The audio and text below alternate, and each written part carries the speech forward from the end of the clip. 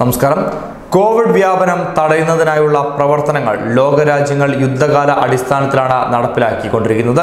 നിലവിലെ സാഹചര്യത്തിൽ കൃത്യമായ ഒരു മരുന്ന് കണ്ടുപിടിക്കാതെ മറ്റൊരു പോംവഴിയുമില്ല എന്ന് തന്നെയാണ് അമേരിക്ക ഉൾപ്പെടെയുള്ള ലോകരാജ്യങ്ങൾ വാദിക്കുന്ന വസ്തുത നിലവിലെ സാഹചര്യം തുടർന്നാൽ ലോക സമ്പദ്ഘടനയെ തന്നെ തകിടം മറിക്കുന്ന സാഹചര്യമാണ് ഉള്ളത്. നിലവിൽ ലോകാരോഗ്യ സംഘടന മരുന്ന് നിർമ്മാണ പ്രവർത്തനങ്ങൾക്കുൾപ്പെടെ വലിയ പ്രാധാന്യമാണ് നൽകി വരുന്നതും.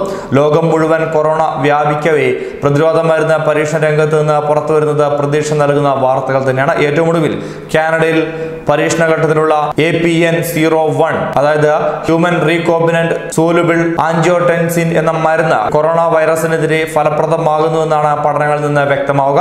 ആർ എൻ എ വിഭാഗത്തിലുള്ള ഈ വൈറസിന്റെ ജനിതക ഘടനയെ തകർക്കുവാൻ കഴിയുന്ന തരത്തിൽ ശേഷിയുള്ള ഒരു മാരകായുധമായി തന്നെയാണ് ഇതിനെ കണക്കാക്കാൻ കഴിയുക. കോവിഡ് നയന്റീൻ രോഗത്തിന് കാരണമാകുന്ന സാർസ് കൊറോണ വൈറസ് ടു മനുഷ്യ കോശത്തിനകത്തേക്ക് കടക്കുന്നത് തടയുവാൻ എൻ പി എൻ സീറോ വണ്ണിന് കഴിയുമെന്ന് ശാസ്ത്ര പ്രസിദ്ധീകരണമായ സെല്ലിൽ വന്ന അഭിപ്രായത്തിൽ അല്ലെങ്കിൽ പഠനഫലത്തിൽ വ്യക്തമാക്കുന്നുമുണ്ട്.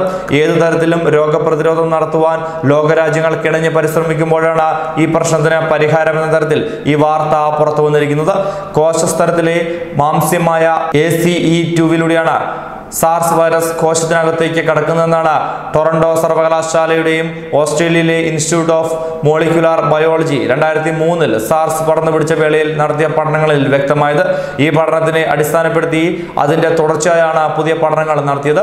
പുറത്തേക്ക് തള്ളി നിൽക്കുന്ന രോമം പോലുള്ള ഭാഗം ഉപയോഗിച്ചാണ് വൈറസ് കോശസ്തരത്തിലെ എ സി ഇ ടൂവിൽ പറ്റിപ്പിടിക്കുന്നത്. ഈ ഒട്ടിച്ചേരൽ തടയുവാൻ A P N zero one മരുന്നിന് കഴിയുമെന്ന് പഠനത്തിന് നേതൃത്വം നൽകുന്ന കാനഡയിലെ ബ്രിട്ടീഷ് കൊളംബിയ സർവകലാശാല പ്രൊഫസറായ ജോസഫ് പെന്നിങ്ങർ വ്യക്തമാക്കുകയും ചെയ്തു. മൂലകോശങ്ങൾ ഉപയോഗിച്ച് വികസിപ്പിച്ചെടുത്ത വൃക്കയിലും രക്തധമനിയിലും കൊറോണ വൈറസിന്റെ പ്രവർത്തന രീതി എങ്ങനെയാണെന്നും പഠനത്തിൽ വിലയിരുത്തുന്നുണ്ട്. സാർസ് വൈറസിനോട് സാമ്യമുള്ള ഇനമാണ് കോവിഡ് നയന്റീൻ വൈറസ് എന്നും അതിനാൽ തന്നെ മരുന്ന് നിർമ്മാണം പ്രതീക്ഷ നൽകുന്നുണ്ടെന്നും പെന്നിങ്സ്റ്റൺ വ്യക്തമാക്കുകയും ചെയ്തു.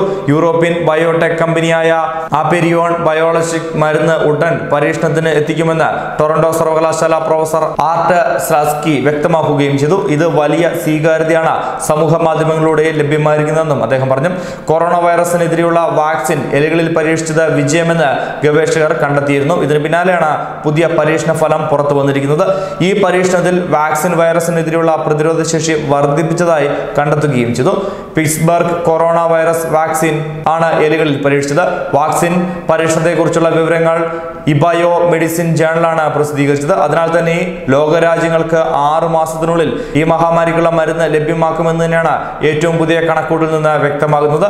സ്പൈസ് ഫോർട്ടീൻ എന്നറിയപ്പെടുന്ന മാംസ്യം വൈറസിനെതിരെയുള്ള പ്രതിരോധത്തിന് സുപ്രധാനമാണെന്ന് നേരത്തെയുള്ള പഠനങ്ങൾ തെളിയിച്ചിരുന്നതായും അത് പുതിയ പഠനത്തിന് ഏറെ സഹായിച്ചതായും ഗവേഷണത്തിന് നേതൃത്വം നൽകിയ യു എസിലെ പിറ്റ്സ്ബർഗ് സർവകലാശാലയിലെ മുതിർന്ന ഗവേഷക ആൻഡ്രിയ ഗംബാട്ടോ വ്യക്തമാക്കുകയും ചെയ്തു. ഇതിന്റെ അടിസ്ഥാനത്തിലാണ് രോഗനിർണയത്തിനായുള്ള പുതിയ പരീക്ഷണത്തെ ലോകം സ്വാഗതം ചെയ്യുന്നത് കുത്തിവെപ്പിലൂടെയാണ് വാക്സിൻ നൽകേണ്ടതെന്നും ശരീരം അത് പെട്ടെന്ന് തന്നെ സ്വീകരിക്കുമെന്നും മറ്റൊരു മുതിർന്ന ഗവേഷകനായ ലൂയിസ് ഹാലോ വ്യക്തമാക്കുകയും ചെയ്തിട്ടുണ്ട്.